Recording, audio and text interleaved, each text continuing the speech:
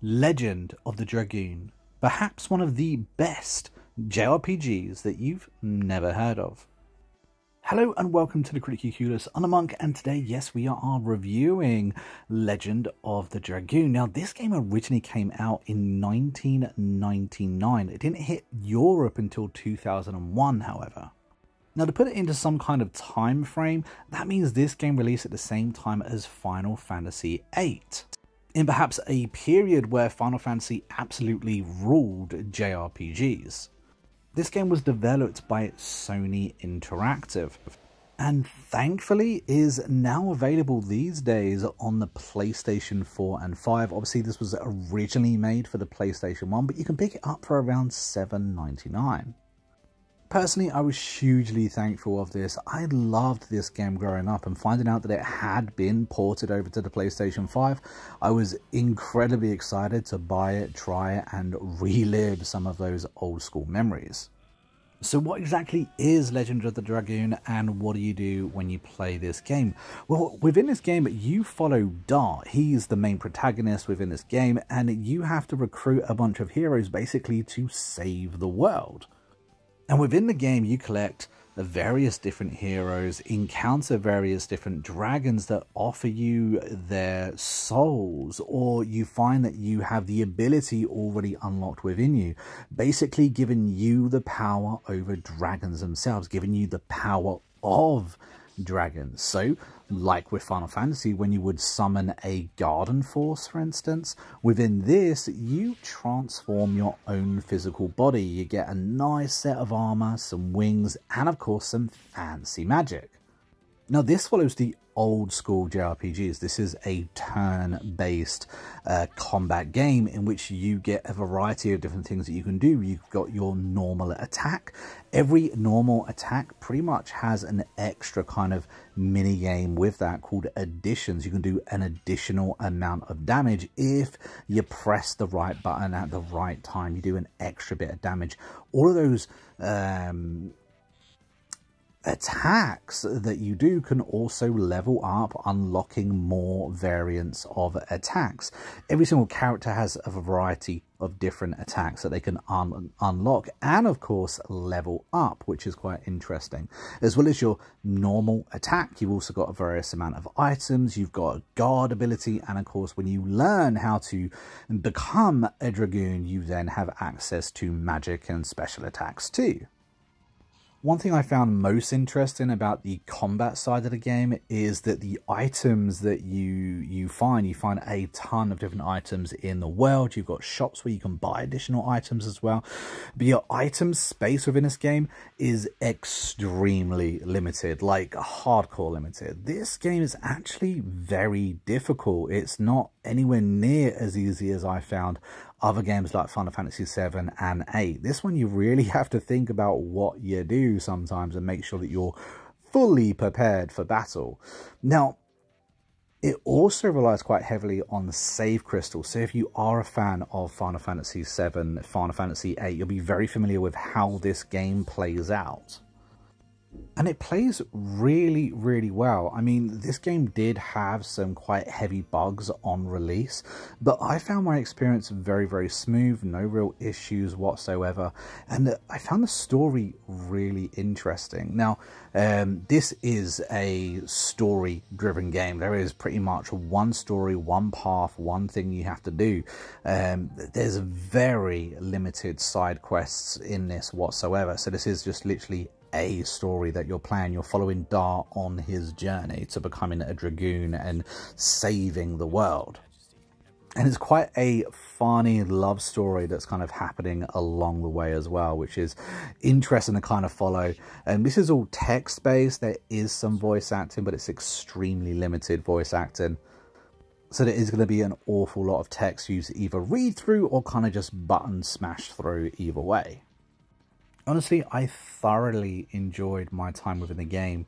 Um, I love uh, turn-based combat games, and this one just brought me straight into the old Final Fantasy uh, kind of style. But Legend of the Dragoon does things a little bit differently. You've got your your Dragoon force, your magic. You've also got a special attack while in that form too. So it definitely offers its own variant of this game.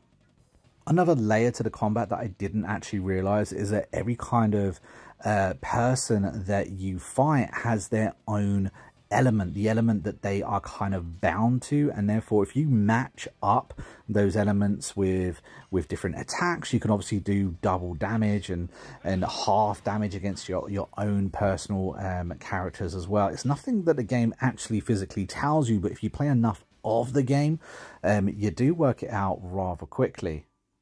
And I really like that because it just offered a little bit more depth to the game than I first realized. And of course, you do get a chance to level up these characters as well.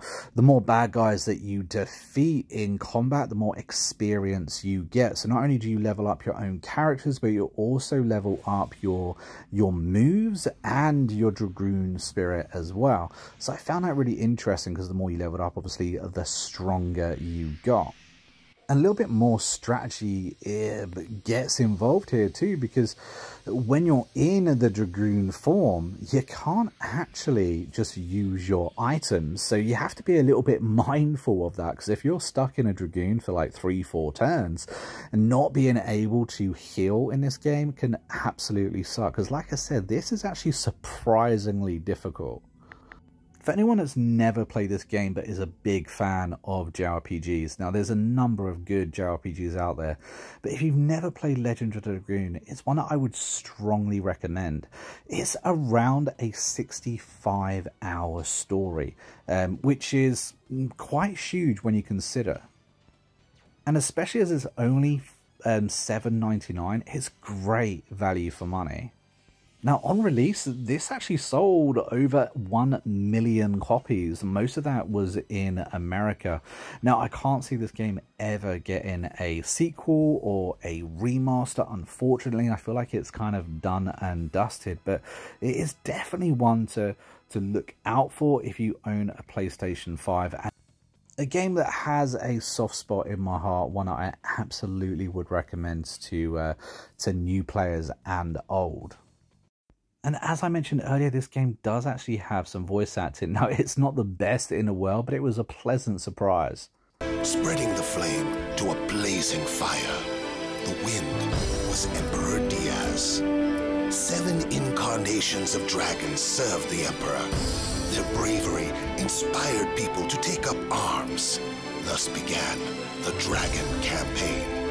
It was a harsh war, both people and Winglies suffered countless injuries and fatalities.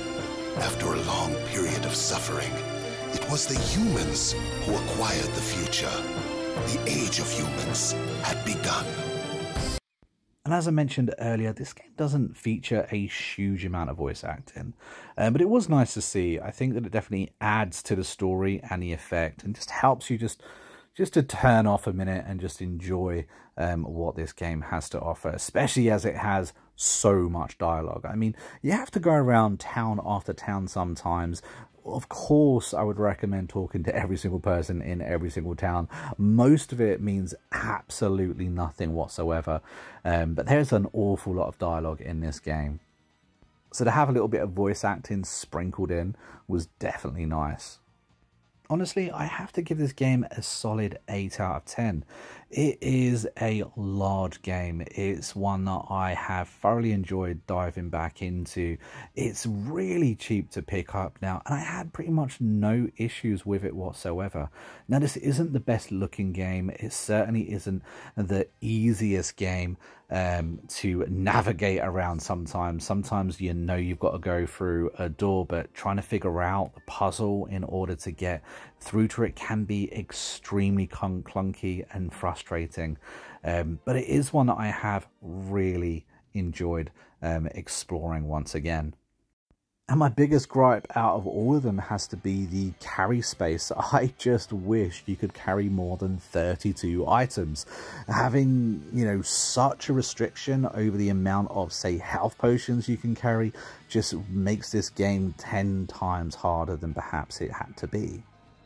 So I guess a little tip thrown in, if you're going to play this game and you finally unlock Rose, level her up as soon as possible because her healing ability in Dragoon form is so, so needed.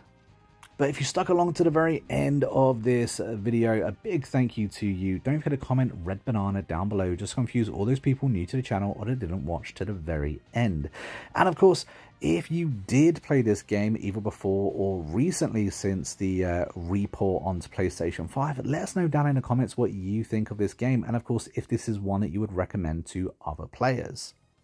But until next time, I've been a monk, we've been a City Curious, and I will see you in the next video real soon. Until then, take it easy and happy gaming.